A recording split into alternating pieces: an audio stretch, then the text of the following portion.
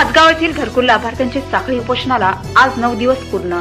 मूर्तिजापूर तालुक्यातील हातगाव या गावातील गौतम नगर मधील गावकरी दिनांक पंधरा ऑगस्ट दोन हजार एकोणीसपासून साखळी उपोषणास बसले आहेत.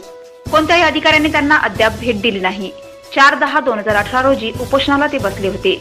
नंतर मूर्तिजापूरचे तहसीलदार उपविभागीय अधिकारी व गटविकास अधिकारी या सर्व अधिकाऱ्यांनी गावकऱ्यांना लेखी आश्वासन दिले होते की आठ दिवसाच्या आत आम्ही तुमच्या एकशे बहात्तर सर्वे नंबरला जागेचा आठ लावून देतो.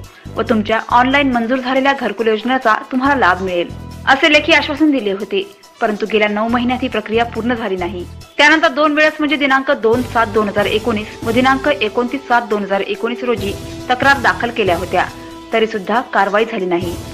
तसंच गौतम नगर हातगाव वार्ड क्रमांक तीन गट क्रमांक एकशे बहात्तर येथील नागरिकांना शासनाने न्याय मिळवून देण्यासाठी सर्व नागरिकांनी साखळी उपोषण मांडले आहे.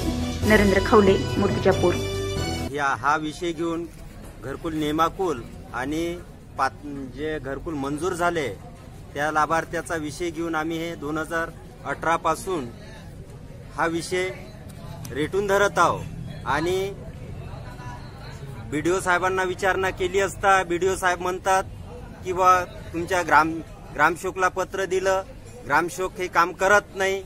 ग्रामशोकला विचारलं असता ग्रामशोक म्हणते की जी बॉडी आहे तुमचे सरपंच उपसरपंच जे बॉडी आहे हातगावमधली हे मला काम करण्यासाठी अडथळा निर्माण करत आहे. यांच्याकडून प्रस्ताव दा- सादर नाही होत आहे. म्हणून मी हे पुढे बीडीओ साहेबांना प्रस्ताव सादर करत नाही आहे ही वस्ती घस पूर्ण भीमनगर गौतमनगर जे आहे ही कमीत कमी तीस चाळीस वर्षाच्या अगोदरपासून ही वस्ती आहे. आणि आजपर्यंतही त्या वस्तीला कोणत्याच प्रकारे लाभ मिळत नाही. आम्ही उपोषण करते समस्त हातगाव येथील नागरिक आम्ही उप- आमचं उपोषण करीत आहोत. आमचा महत्त्वाचा विषय की जवळजवळ वीस ते पंचवीस वर्षापासून इथं वास्तव्य करीत आहोत. वास्तव्य करीत असताना आणि शासनाच्या जी आर प्रमाणे सर्वांसाठी घरकुले त्याचप्रमाणे अतिक्रमणधारक लोकांना नियमानुकूल करण्यासाठी शासनाचा हा जी आर आलेला आहे. त्याकरिता आम्ही एक वर्षापासून प्रयत्न करीत आहोत. आम्ही एचडीओ साहेब बीडीओ साहेब तहसीलदार यांना एक वर्षाच्या आधी सुद्धा निवेदन दिली. परंतु ग्रामपंचायत पालकमंत्र्यांना सुद्धा आम्ही निवेदन दिली परंतु ग्रामपंचायत आम्हाला सहकार्य करत नाही.